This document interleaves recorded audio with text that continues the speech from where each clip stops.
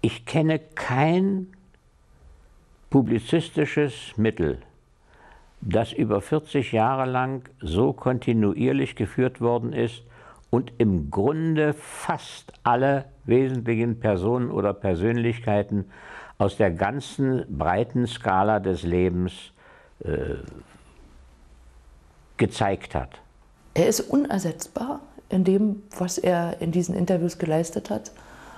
Und ich glaube, kaum ein anderer Interviewer käme an Menschen, vor allem an solche, die hier groß geworden sind, hier meine ich jetzt im Osten, so nah ran wie er. Meiner Erinnerung nach verdanke ich diesen Gesprächen wirklich bleibende Eindrücke von bestimmten Personen, die man ganz gut kannte, äh, die aber doch auch immer alles Mögliche verbargen und die nun durch das Gespräch mit Gauss in demjenigen Zusammenhang und Licht erschienen, äh, die man braucht.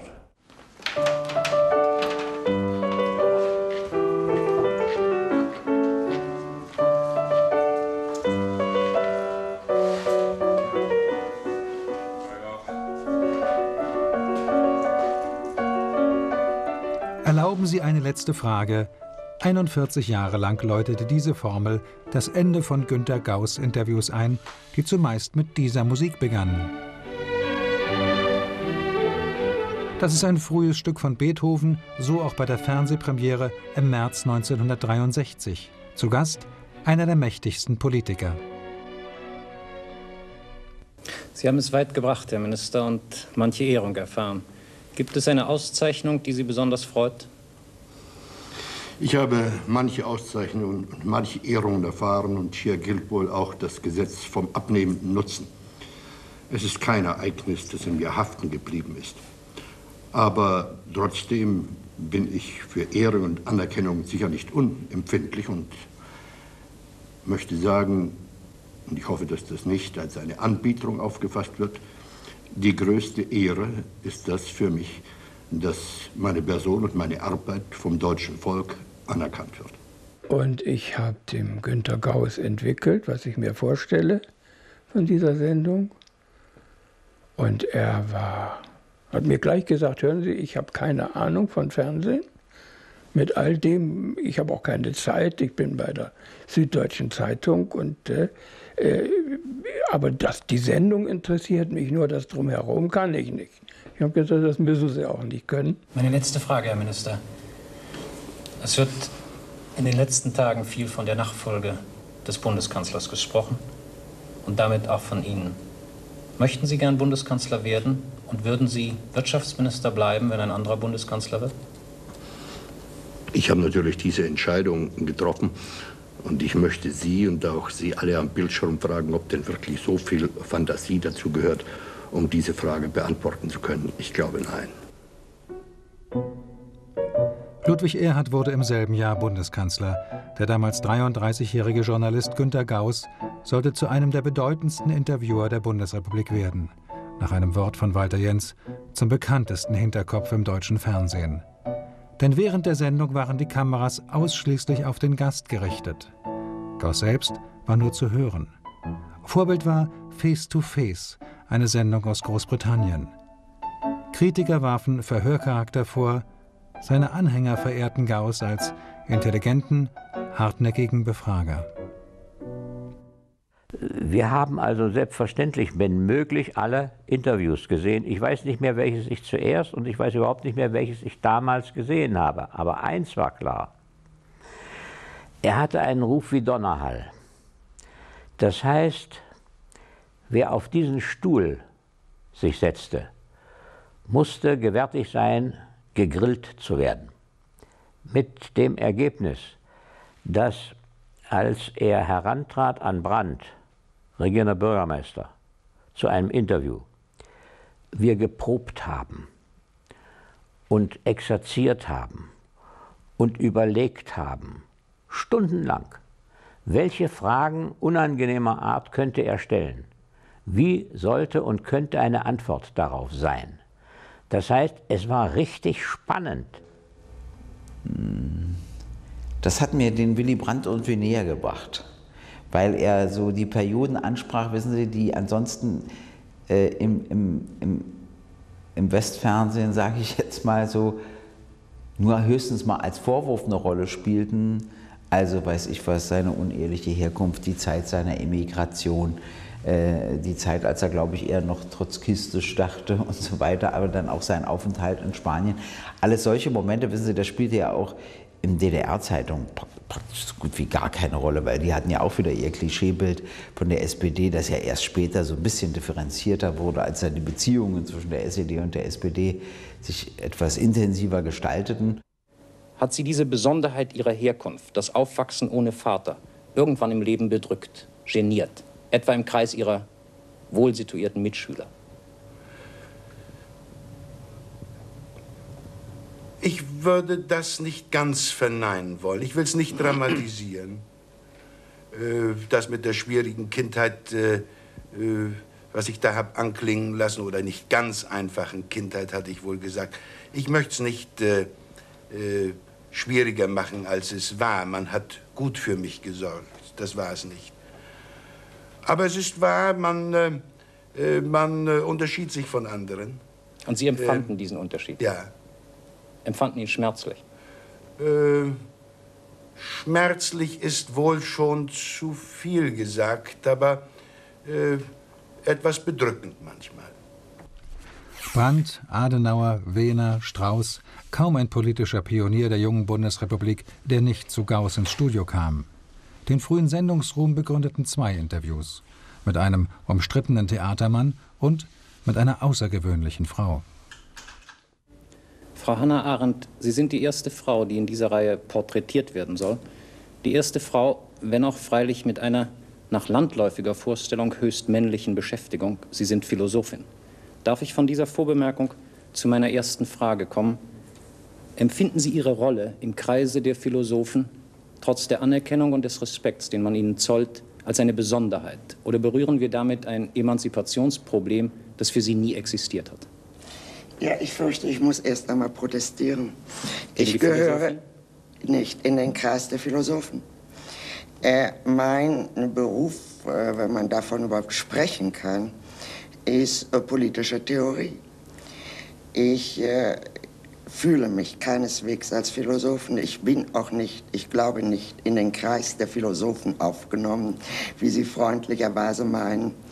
Aber wenn wir auf die andere Frage äh, zu sprechen kommen, die Sie in der Vorbemerkung anschnitten, Sie sagen, es ist landläufig eine männliche Beschäftigung.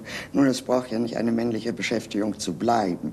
Und wir waren alle natürlich enorm angetan, auch wegen der Klarheit, mit der sie, man muss immer bedenken, wir waren noch damals noch ein paar Jahre näher am Kriegsende und es war in der Aufarbeitung der Vergangenheit noch einiges zu tun. Und die Art, wie Diana Arendt sowas auf den Punkt brachte, wie die einfach, die konnte ja Jargon sprechen. Die wurde ja berlinerisch, wenn sie sagte, ist mir doch klar, jemand, der, ein kleiner Beamter, der Angst hat um, sein, um seine Familie, das ist nicht mein Problem. Aber die Intellektuellen, denen immer noch was einfiel, das waren so die, nein, nein, das war schon eine tolle Sendung. Die Leute nehmen mir eine Sache übel. Und das kann ich gewissermaßen verstehen von außen. Nämlich, dass ich da noch lachen kann. Mhm. Nicht? Mhm. Und ich war wirklich der Meinung, dass der Eichmann ein Hans Wurst ist. Und ich sage Ihnen, ich habe dieses Polizeiverhör 3600 Seiten gelesen und sehr genau gelesen und ich weiß nicht, wie oft ich gelacht habe, aber laut. Hm. Nun, diese Reaktion nehmen mir die Leute übel. Dagegen kann ich nichts machen. Ich weiß aber eine Sache. Ich würde wahrscheinlich noch drei Minuten vor dem sicheren Tode lachen. Sie sind schon sehr früh in unserem Gespräch, Herr Gründgens, auf die Zeit Ihrer Intendanz in Berlin während der nationalsozialistischen Zeit gekommen. Gibt es so etwas wie ein unsicheres Gewissen darüber? Nichts liegt mir ferne. Dann haben Sie mich völlig missverstanden. Ich wollte damit sagen, dass die äh, Unsicherheit, in der wir alle lebten, uns die Bühne als den einzigen sicheren Faktor erschienen ließ. Auf der Bühne, dem Planquadrat, wie ich es nenne, wusste ich genau, wenn ich den Satz sage, geht hinten eine Tür auf und eine Dame in einem grünen Kleid kommt da rein und nicht ein SS-Mann. Ich hatte den Eindruck, dass er sich von der frühen, sogar etwas noch unsicher und fast manchmal sogar unbeholfen wirkenden Befragung ähm, erstens zu immer größerer Sicherheit äh, emporgearbeitet hat, was aber nicht dazu führte, dass irgendeine Spur von Routine eintrat. Und dass diese, äh, diese also fast traumwandlerische Sicherheit, mit der er dann diese Gespräche führte, äh, zu immer mehr Tiefe auch geführt haben. Wobei, es stimmt vielleicht nicht, wenn ich jetzt sage, zum Beispiel das Gespräch von Hannah Arendt ist vielleicht unübertreffbar. Und das hat er, glaube ich, selbst auch so gesehen.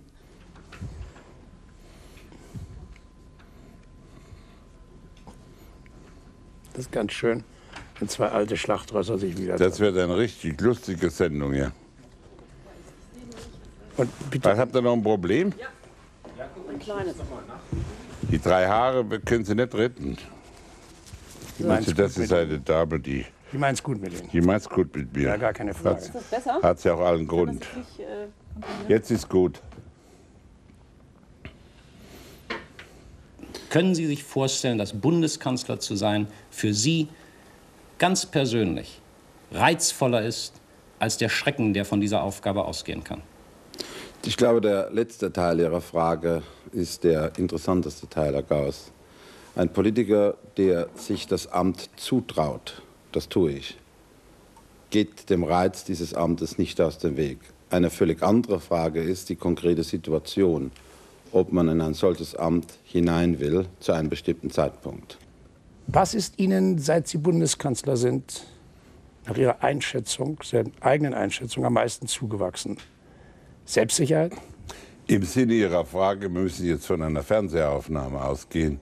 Natürlich sehr viel mehr Erfahrung. Äh, wenn ich mir vorstelle, wie das damals war, wo etwas solche Art, derartige Interviews überhaupt erst aufkamen.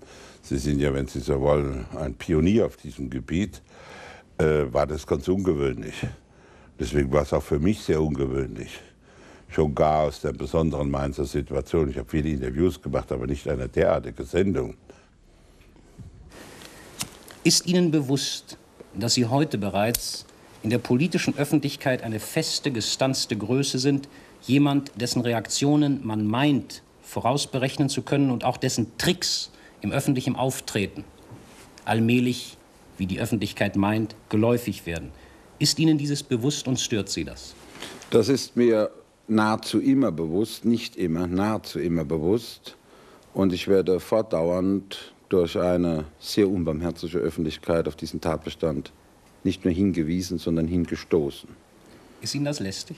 Ja. Wenn Sie mich fragen, was heute gefragt ist, und da ist meine Chance, es ist gefragt in einer Gesellschaft, wo so vieles geglättet und so glatt geworden ist, aalglatt zum Teil und damit ganz unglaubwürdig, ist eher ein, ein, ein, Steinbrocken gefragt, ein Felsbrocken gefragt, wo die Leute sagen, der steht. Und das ist meine Chance in dieser Wahl. Herr Bundeskanzler, und Sie ergreifen sie, und das ist Ihr gutes Recht, und ich bewundere Sie jedenfalls dafür, wie Sie aus jeder Frage zu einer Selbstwerbung kommen können. Das ist in Ordnung. Soweit ja. äh, das Interview nicht drunter leidet, ja. ja. 1967 wechselte Gauss in die Studios des Südwestfunks. Dort war er Programmdirektor geworden. Seine Sendereihe nahm er mit, die ungewöhnliche Optik blieb. Das ZDF gab allerdings den Sendetitel Zur Person nicht frei. Mit einem Paukenschlag wollte Gauss beim neuen Sender starten und unter neuem Titel.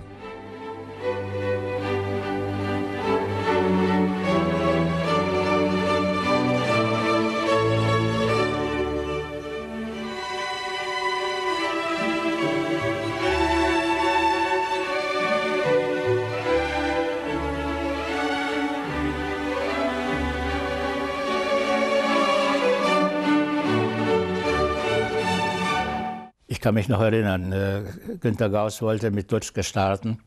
Und äh, die Redaktion war allerdings äh, der Ansicht, in dieser damaligen bewegten Zeit nicht unbedingt mit einem Befürworter dieser Aktion zu beginnen, weil das vielleicht eine Abfärbung auf die ganze Reihe später geben würde.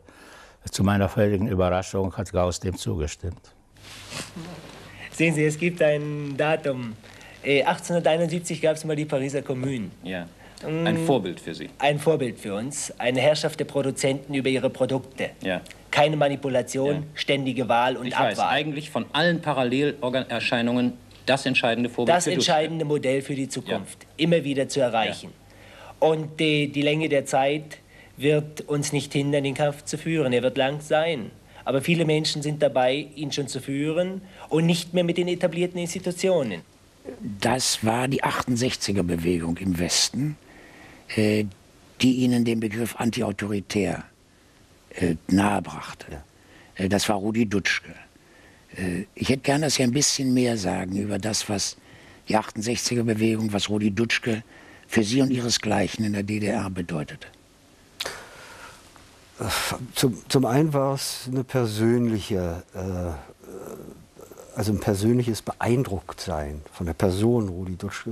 Ich habe Sie übrigens das erste Mal gesehen, Herr Gauss, als Sie das Dutschke-Interview machten. Das ist lang her. Ja, und das hat mich wirklich stark beeindruckt. Ähm, die ganze Art, und ich spreche da deshalb von der antiautori antiautoritären Haltung, ähm, die Dutschke vermittelte.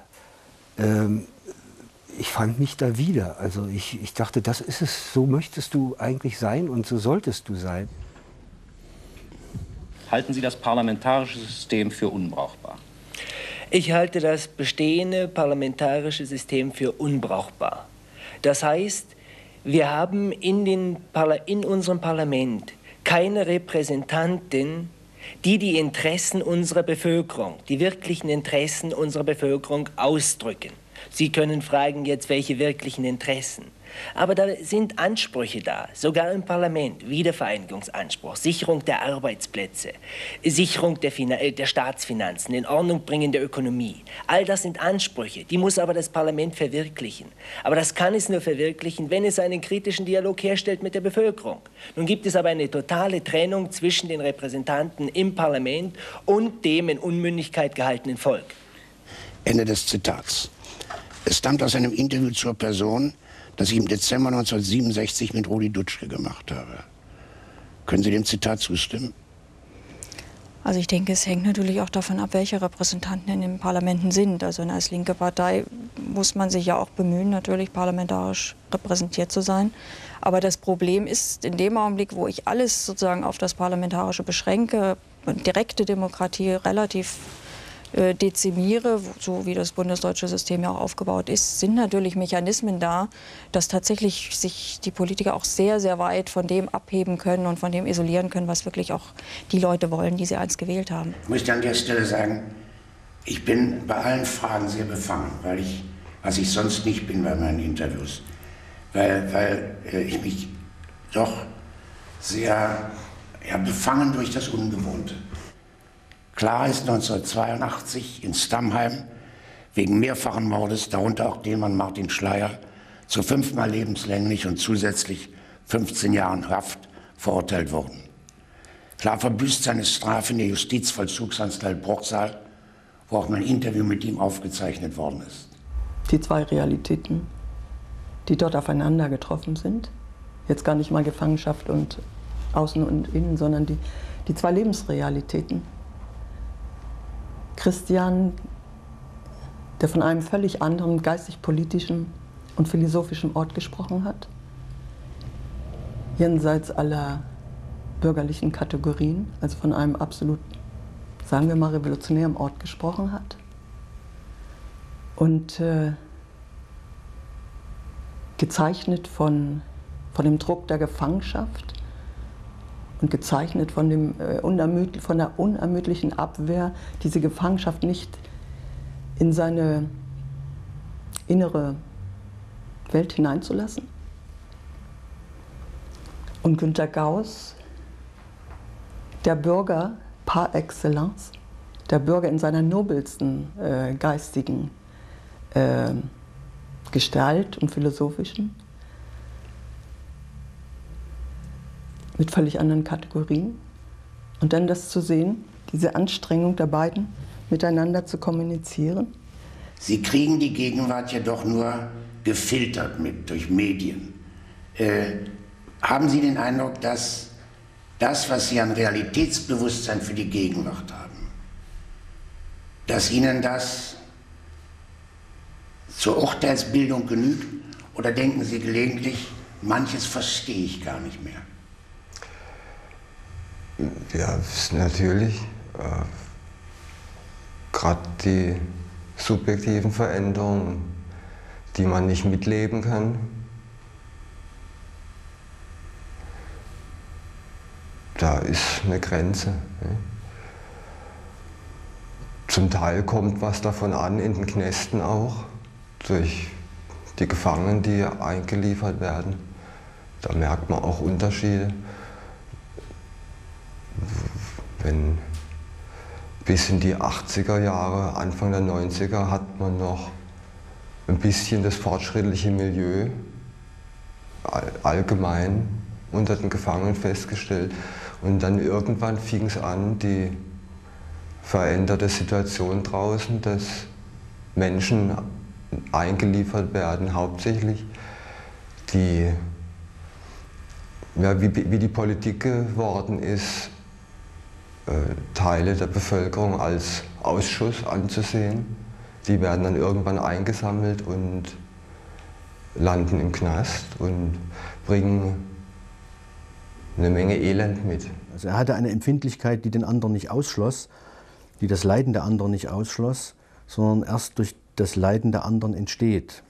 Also für ihn gab es keine Hauptmenschen, keine Nebenmenschen. Das ist ja insofern wichtig, als er jemand war, der ja doch in der äh, politisch herrschenden Klasse ein sehr viel umworbener war, wie er das selbst mal formuliert hat. Der journalistischen Karriere des Interviewers folgte die politische.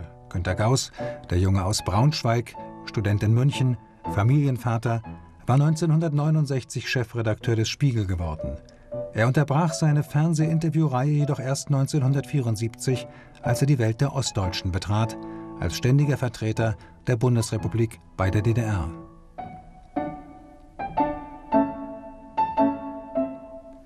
Nach der Zeit im Staatsdienst wie der freischaffende Publizist fand sich der WDR als Partner. 1984 startete die neue Reihe unter neuem Namen für Gauss konsequent auch mit Gästen aus dem anderen Deutschland.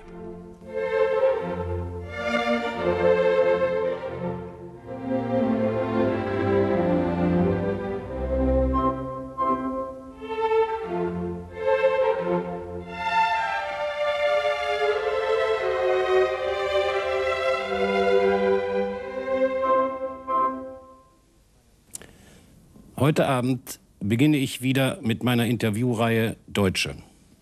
Porträtieren, zur Selbstdarstellung veranlassen will ich Männer und Frauen aus beiden deutschen Staaten. Ihr Leben, ihre Gesinnungen, ihr Weltverständnis sollen erkennbar werden. Mein heutiger Partner ist Hermann Kant, namhafter deutscher Schriftsteller und hoher Kulturfunktionär der DDR. Wenige von drüben sind hüben so umstritten wie er. Der Vorwurf äh, zusammengefasst lautet ja, ich rührte nicht an den Grundsätzen. Und ich akzeptiere diesen Vorwurf voll und ganz. Ich habe gar keine Ambitionen in dieser Hinsicht. Ich will, äh, ja, ich bin ja der Grundsätze wegen äh, zu einer bestimmten Partei und Parteiung gestoßen. Äh, wie käme ich dazu, nun äh, an ihn zu rütteln, wo ich den Federalter führe. Es sei ihm so gut wie noch nie einer begegnet, der so von dem andere Leute so böse reden, der also so ein schrecklicher Mensch zu sein scheine. Das hat er mir ja bei beiden Malen so oder so formuliert mh, mm, äh, gesagt. Und darauf, das hat mich überhaupt nicht irritiert, weil ich wusste, ich war doch, äh, war doch vertraut mit der äh, mit der Lage, in der ich mich befand. Das hat mich nicht sehr irritiert, aber irritiert hat mich, dass viele meiner Freunde für mich empört waren, sozusagen unter Motto, wie kann da man dich sowas fragen? Die hatten es als feindseliger aufgefasst, als ich es selber auf. Ich habe es nicht als feindselig aufgefasst. Der Schriftsteller Hermann Kant, Altbischof Albrecht Schönherr, ZK-Mitglied Otto Reinhold aus der DDR. Unter den Westdeutschen der Schriftsteller Martin Walser, der Kirchenmann und Politiker Heinrich Alberts, am meisten umstritten aber der CDU-Generalsekretär Geißler wegen dessen Äußerung, die Pazifisten sind an Auschwitz schuld. Was sich mit dem historischen deutschen Ort Auschwitz verbindet, ist so jenseits aller rationalen Vorstellungskraft, so weit in unbeschreiblichen Gefilden des Schreckens, dass man aus diesem Grunde keine, keinerlei, richtige oder falsche, aktuelle politische Argumentation damit verbinden soll. Ja, ähm, eine solche Auffassung kann man durchaus vertreten. Äh, nur die Frage äh, war, wie antworten wir auf den Vorwurf der anderen Seite, ja. die Regierung bereite ein atomares Auschwitz Aber vor. Nicht, äh, man muss ja, man muss ja diesen Zusammenhang eins. einmal herstellen. Äh, Herr Geißler, und, eins und äh, eins ich, sind ich würde, nicht null, sondern zwei. Ja, äh, nur ich glaube, es war notwendig, darauf aufmerksam zu machen, äh, welche Konsequenzen es hat, wenn gegenüber einer totalitären Diktatur die Verteidigungsfähigkeit und die Bereitschaft freier Demokratien geschwächt wird. Und wenn die pazifistischen Überlegungen und politischen Vorstellungen bei uns eine Mehrheit bekämen, dann davon bin ich überzeugt, wäre das Ergebnis ein weltweiter Archipelgulag. Ja, davon sind Sie überzeugt. Davon ich kenne überzeugt. ehrenwerte Menschen, die vom Gegenteil überzeugt Gut. sind. Äh, der Punkt war für mich in meiner Frage, verbietet nicht Auschwitz jede Verbindung mit strittigen, gegenwärtigen politischen Problemen. Und wenn andere es gebrauchen, rechtfertigt das dann doch etwa nicht, dass man selber es auch gebraucht. Eins und eins Gut. sind nicht null, sondern zwei. Nur Aber, Auschwitz Geisler, wäre ohne die Sie, Position und Situation des totalen Krieges nicht möglich gewesen. Das muss man sehen. Und die Weltgeschichte hätte einen anderen Verlauf genommen wenn damals die westlichen Demokratien gegenüber der nationalsozialistischen verbrecherischen Aufrüstung anders reagiert hätten. Herr Geisler, ich lasse Sie auf diese Antwort sitzen, weil Sie im Moment, unmittelbar nachdem Sie eingeräumt haben, dass Auschwitz vielleicht ganz außen vor bleiben sollte, im Grunde schon wieder diese Verbindung hergestellt haben. Wendejahr 1989 auch für Günter Gauss im Fernsehen. Zwischen der letzten Sendung beim WDR und der ersten beim DFF in der DDR lagen fünf Monate und eine friedliche Revolution. Der neue Fernsehintendant aus der DDR musste den alten Interviewer aus der BRD nicht lange zum Weitermachen überreden. Der hat mich angesehen, hat gesagt, meinen Sie das ernst? Ich habe gesagt, natürlich. Und ja, sagt er, wie soll das werden? Ich so, wie Sie das gewohnt sind. Machen Sie es nach Ihren Gesichtspunkten. Ja, habe ich denn, also er war ein bisschen erstaunt, habe ich denn da die Freiheit einzuladen, wen ich will? Und ja, ich sage, oh, tun Sie es. Ich war ja froh über jeden, der unser Programm qualitativ belebte. Aber nicht das war es allein. Ich wusste, dass man einen solchen Mann wie Gauss nicht mit irgendwelchen äh, Prämissen da kommen konnte. Und äh, er sagte, gut, das ist verabredet. Ich habe ihm dann gleich gesagt, Herr Gauss, äh, wir haben kein Westgeld, wissen Sie, wir zahlen Ihnen ein Honorar. Und er, ich würde Honorar, ohne Honorar von Hamburg nach Berlin zu Fuß gehen, wenn ich das machen dürfte bei Ihnen. Ich habe mich, glaube ich, nirgendwann auf eine Sendung je so genau vorbereitet wie darauf. Ähm, das war ja auch in einer sehr, ähm, sagen, einer sehr angespannten Situation. Ich musste entscheiden vorher, was mache ich mit meinem Leben? Nämlich, gehe ich jetzt in die Politik oder nicht? Ich musste jetzt Farbe bekennen. Also äh, da konnte, wusste ich, da geht es um Wesentliches, da kannst du nicht ausweichen, da kannst du nicht rumeiern, da darfst du dich nicht verhalten wie ein Politiker, der mit allen äh, Weihwassern der Diplomatie gewaschen ist, sondern hier musst du klar reden, wenn du bestehen willst äh, bei ihm. Das Zweite, ich hatte natürlich auch ja, ich war unglaublich aufgeregt. Welche Vorstellungen hatten Sie, als Sie aufwuchsen, Pastor wurden, Dozent am Predigerseminar in der Lutherstadt Wittenberg, ein früher Wortführer der Opposition gegen das Regime der SED? Welche Vorstellungen hatten Sie von der Bundesrepublik Deutschland, von dem anderen deutschen Staat? Ich glaube, fast jeder DDR-Bürger wusste, wie die Minister heißen in der Bundesrepublik. Wir haben immer mitgewählt weil wir nicht wählen konnten. Äh, wir haben, denke ich, in einem viel größeren äh, Ausmaß politische Sendungen gesehen aus der Bundesrepublik. Und dennoch war es, denke ich, nur ein Fernsehbild, äh, das dem Bild, das unsere Zeitungen von der Bundesrepublik machten, immer widersprachen. Und ich bin an einer Stelle 1982 desillusioniert worden. Ich habe 1982 zu spüren bekommen, dass die Bundesrepublik sich selbst genug ist. Ein schönes, reiches Land. Sie sagten ja auch Deutschland.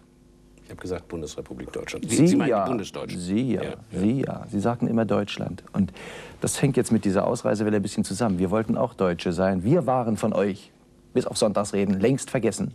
Und jetzt habe ich so den Eindruck, jetzt müsst ihr die Zeche zahlen für uns. Sie waren nicht von allen vergessen und von manchen nicht nur sonntags ja, in Erinnerung. Ja, wissen Sie, aber ich hatte gedacht, dass alle, die uns besuchten in der DDR oder die so ein Herz für unser Land hatten wie Sie, dass das die Bundesdeutschen wären. Das, das war die Täuschung. Habe ich nie gedacht, Herr Schaulemann. Hm. Das habe ich Das war gedacht. nur meine Täuschung, wissen Sie, das war meine Täuschung. Und ich glaube, wenn es jetzt wirklich zu sozialen Lasten auch für die Bundesrepublik käme beim Anschluss, ich weiß nicht, also ob wir wirklich willkommen sind. Sind Sie ganz frei von Schadenfreude in dem Zusammenhang? Ja. Zunächst erst haben mich die Interviews natürlich in einem gewissen Maße erschrocken.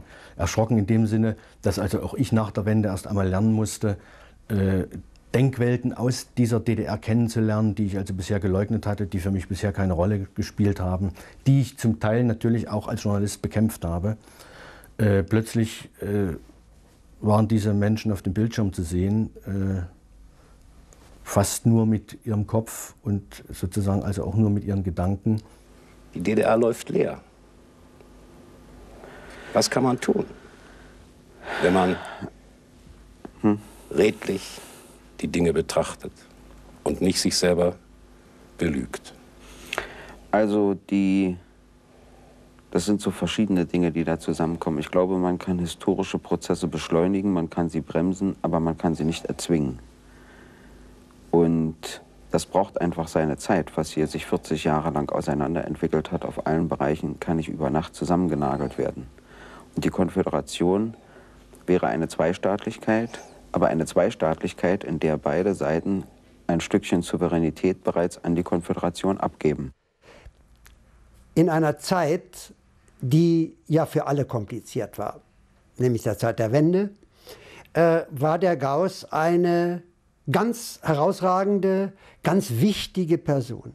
Das heißt, er hatte Erfahrung vorher durch sein politisches Leben mit dem Osten. Er, er kam aus dem Westen. Er kannte uns wesentlich besser als viele der Westdeutschen, die uns mit offenen Armen äh, als Brüder und Schwestern gegenüberstanden, äh, was sich dann ja doch etwas anders herausstellte später, äh, in vielen Fällen. Ich will nicht verallgemeinern, nicht, das ist immer ungerecht. Und da brauchte man eine solche Figur der Integrität und der Kenntnis beider Deutschlands. Thomas Langhoff, ein zunächst langsam beginnender Regisseur, dann schnell große Erfolge erzielender Künstler. Heute ein Mann, der mit großer Gelassenheit auf die Vergangenheit blickt, auf die Vereinigung Deutschlands, wie es ist, und der sicherlich Maßstäbe setzen wird für Theaterkunst im Vereinigten Deutschland zur Person Thomas Langhoff. ist ein Mensch wie Sie insoweit ein Augenblicksmensch, dass er sagt, nun habe ich diesen 4. November gehabt, als meinen großen Glückstag. Und jetzt sage ich nun also dem Theatermenschen Langhoff, nun habe ich die große Inszenierung des Glücks gehabt. Nun war diese Premiere des Glücks. Hm. Nun ist das Nachwirkende, wie lange die Aufführung fortgesetzt wird, wie viele Wiederholungen es gibt, gar nicht mehr so wichtig. Kann es sein, dass dieses ein Teil ihrer äh, Existenz ist, ein Teil ihrer Mentalität, dieses auf den Tag hin? Ja, das ist dann natürlich. Äh, das ist ja auch das Problem des Künstlers, dass er äh, Dinge im Augenblicke begreift und sie im Augenblicke auch sehen möchte. Verweile doch, du bist so schön, wie Goethe sagt. Und Aber dann verweilt's nicht und ist und, es dann vergessen? Und äh, es ist ja nicht vergessen. Es ist ja nicht vergessen und äh, dass es nicht vergessen wird, in mannigfacher Form. Dazu sind wir da. Und dazu ist auch die Kunst da und dazu ist auch das Theater da, äh, äh sozusagen das aufzuheben. Das kann ja nur eigentlich die Kunst meinen. Also die Utopie, von der Sie mit der Gelassenheit des Augenblicksmenschen, sage ich jetzt mal, mhm. Sie können ja widersprechen. Nein, es ist so. Äh, ich habe äh, äh, gebeten, dass ich äh, meine Piepe rauchen kann während des Gesprächs, weil ich da besser nachdenken kann. Das fand er unangenehm und bat mich, das nicht zu tun. Da habe ich ihn gebeten, dann soll er auch seinen Whisky weglassen. Da hat er gesagt, gut, ich kann meine Piepe behalten. Wenn Sie sicher sein können, eine große Theaterkarriere zu machen, würden Sie dann das Fernsehen sausen lassen? Nein. Das Theater ist für mich als, als ausübender wirklich abgeschlossen, ohne, ohne Frust, ohne Enttäuschung. Ich genieße sehr, als jemand, der den Beruf mal gelernt hat, mir, mir schöne Theateraufführungen anzuschauen. Aber es ist, glaube ich, sehr viel spannender, mit dabei zu sein, dahin, wo das Fernsehen hingehen wird, das weiß ich auch nicht, wo das ist, und äh, selber auszutesten, äh, wie weit man es treiben kann. Hat mir eigentlich zwei Stunden äh, erzählt, wie äh, zum einen Fernsehen ähm, funktioniert. Ja? Ähm, also, dass er immer diese Kartons hat, äh, die der Bridge äh, Club seiner Frau war es, glaube ich. Ähm, die, die, das sind die, die, die Kartons aus Strumpfhosenverpackungen, die rascheln nicht. Dann hat er mir vorgeführt, wie er die wendet, ohne zu ähm, rascheln. Und äh, ich hätte dann normalerweise sagen müssen, äh, wir leben im Zeitalter des Teleprompters oder man kann das auch, es macht auch nichts heutzutage, wenn es raschelt. Äh, habe dann aber eigentlich die komplette Entwicklung der Fernsehtechnik seit 1970 nochmal in Frage gestellt und dachte mir, im Grunde ist ja eigentlich jeder, der nicht von äh, Strumpfkartons die Fragen abliest, äh, intellektuell nicht würdig, überhaupt ein Fernsehstudio zu betreten. Also wenn einer äh, eine Frage für ihn unzureichend oder ausweichend gar beantwortet hat, dann hat er nochmal und nochmal auf den Punkt gebracht. Und äh, hat auch so, hat natürlich auch unbequeme Fragen gestellt. Er hat mir auch gleich vorher gesagt, also nicht, dass Sie denken, das wird ein Gefälligkeitsinterview. Christa Wolf wurde zu einem Exempel für die Tiefe des Unverständnisses zwischen West und Ost, für die Eilfertigkeit mancher, vieler westdeutscher Urteile. Bei der Überprüfung ihrer Stasi-Akte zeigte sich in 42 Bänden, wie sorgfältig misstrauisch Christa Wolf jahrzehntelang von der Stasi überwacht worden war. Aber es fanden sich auch zwei schmale Ordner, aus denen hervorging, dass sie sich als junge Frau vor über 30 Jahren zu Kontakten mit der Stasi bereit gefunden hatte. Sie endeten 1962. Haben Sie eine ungefähre Vorstellung, wie die Christa Wolf der nächsten Etappe beschaffen sein könnte? Ja, eine Wunschvorstellung. Wie sieht die aus? Hautlos, sehr empfindlich. Kann kein Wunsch sein. Nein, aber das ist nun mal so. Äh, offen, sehr offen und sehr, ich glaube, anderen Leuten gegenüber toleranter und auch bescheidener. Äh, auf irgendein hohes Ross werde ich mich bestimmt nicht setzen. Aber ich glaube, ähm, härter gegen mich rücksichtsloser und ich, ich glaube, mehr wehtun kann und nichts mehr. Äh, ich muss den Schmerz jetzt nicht mehr vermeiden. Äh, ich habe gemerkt, dass ich, äh, ich konnte in der letzten Zeit nicht besonders gut schreiben Und mir ist jetzt klar, warum. Ich habe diesen Schmerz, glaube ich, vermeiden wollen. Und jetzt geht's wieder. Ich, ich, Sie schreiben. ja, ich kann den Schmerz, Scham, Schmerz, alles das kann ich mit hineinnehmen. Nun kamen Sie mit einer ganz anderen Mentalität von Bankleuten zusammen. Wie sind Sie damit zurechtgekommen? Wenn ich zwei auf der Straße laufen sehe und sehe die nur von hinten, kann ich schon entscheiden, ob es ein Ossi oder ein Wessi ist. Erklären Sie mir den Unterschied. Der, der Ossi, der ging etwas gebückt und äh, eigentlich so, na, schlenderte mehr so dahin. Der Wessi ging aufrecht und hatte, hat mehr dargestellt, als er ist. Äh, und äh, das ist eigentlich ein Thema auch nach zwölf Jahren deutscher Einheit, wo ich immer noch einklage, dass die Ostdeutschen mehr ihren Kopf aus dem Sand strecken müssen, weil sie einfach mehr können, als sie zeigen. Die Fragen, die Gauss ihm gestellt hat über den Fortgang der deutschen Einheit, haben ihn nicht überfordert, haben ihn als den gezeigt, der er war. Und trotzdem war es ein Beispielinterview für die Möglichkeit, sich mit seiner Identität, nämlich der Ostdeutschen, in einen Vereinigungsprozess einzubringen und nicht mit einem einverstanden zu sein. Erlauben Sie mir eine letzte Frage. Träumen Sie immer noch vom Sozialismus?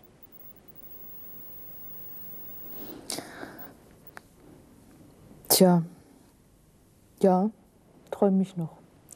Ich träume davon, weil ich wie viele andere Menschen weiß, dass das, was wir in diesem Land erlebt haben, kein Sozialismus war. Ich träume davon, weil ich glaube, dass die Spanne zwischen der Gesellschaft, in der man wirklich lebt, und der, in der man leben möchte, genau diesen Bereich der Utopie ausmacht, die, wenn man sich sehr müht, vielleicht zu Kunst werden kann.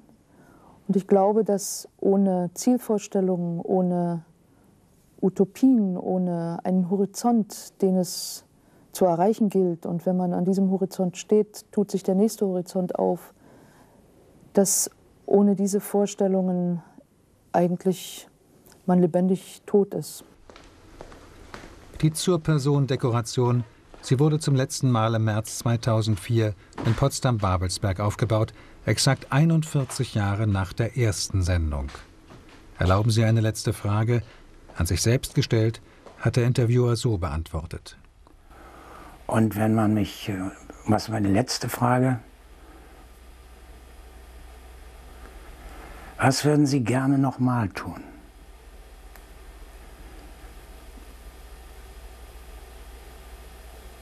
Ich würde ein paar von meinen Interviews zur Person gerne noch mal führen, weil ich, weil ich älter geworden bin.